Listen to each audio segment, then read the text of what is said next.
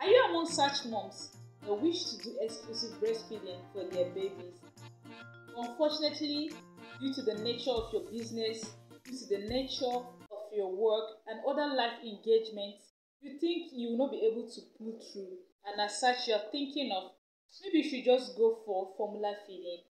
Well, I'm here to share a very good and wonderful news with you. The good news is breast milk can be expressed and also can be stored or preserved for future consumption by your baby. All you need is a guide on how to express the breast milk and how to go about the storage or preservation. So, on today's video, I'll be sharing with you how to go about expressing breast milk, what are the things you need for breast milk expression, what are the things you need for the preservation or storage of the breast milk, what you need to know about the temperature in which the breast milk can be stored and also for how long can the breast milk stay before it's being consumed by your baby. We're also going to look at what are the don'ts of breast milk storage. So kindly sit and take a ride with me into all of these things that I have mentioned. Now, how do you go about expressing a breast milk? All you need to do is you make sure that you eat enough, you eat healthy, and that there's a quality flow and supply of breast milk. Let's look at what are the things you need to get for breast milk expression. For you to be able to express breast milk, of course, you will need a breast pump. You will need either electric breast pump or a manual breast pump. You will need a container or a breast milk bottles or you go for ziplocs that are meant for breast milk storage. Not just any one, not just any ziploc or bottles that you use at home. But you need the ones that are meant for breast milk storage to be able to do this. Another thing you will need if you can is to get a baby food warmer to enable you warm the baby food when it's time for you to give the baby. Now, how do you go about expressing the breast milk? First thing first, wash your hands properly with soap and water. After you must have washed your hands, bring out your breast pump, either the electric or the manual. Now, you put it on the breast, you pump it as much as you can at a go. Then you rest. You allow the breast milk to gather again. Then you go back and repeat the first process. You express again. So after you must have pumped the quantity that you are able to produce for that time, you put them in the ziploc, put them according to the quantity your baby will be able to consume at a feed.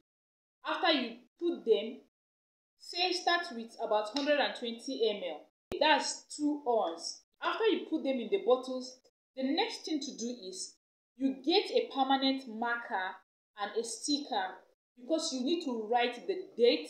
You need to write the date on which you have expressed that breast milk in order to avoid some breast milks staying longer than they should in the fridge or in the freezer. Now, this takes me to the next question that you would want to ask. How long does the breast milk stay? Breast milk can stay in the freezer up to 12 months. It is more advisable to make or make your baby to consume it in 3 months because the longer the breast milk stays in the freezer, the greater the chances of the vitamin C contained in the breast milk reducing. Hence the reason why you need the breast milk to be consumed faster or in a shorter period of time. Secondly, when arranging this breast milk, don't just put them at the front of the freezer. Put them at the back of the freezer, where coolest part of the freezer, which is the back of the freezer. That is where you are meant to keep those breast milk that you have expressed. Now, if it is in the fridge, breast milk can be preserved in the fridge for up to five days before you give it to your baby.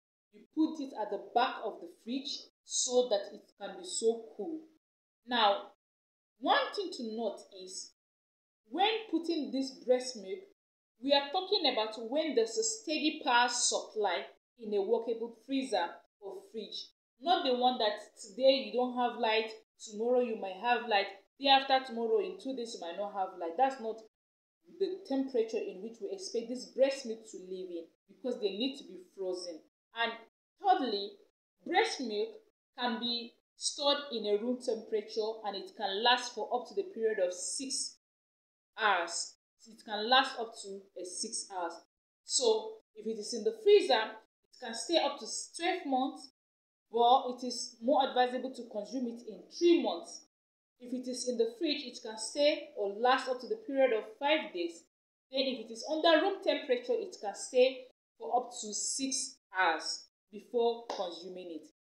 Now, how do you go about giving this frozen breast milk to your babies when it's time for you to feed the baby or when it is time for the person that is helping you to mind the baby, taking care of the baby, either in the crèche or you have a live-in nanny that will be helping you to take care of the baby while you are away or any family member. How do they go or how should they go about um, defrosting the baby milk and giving the baby the milk?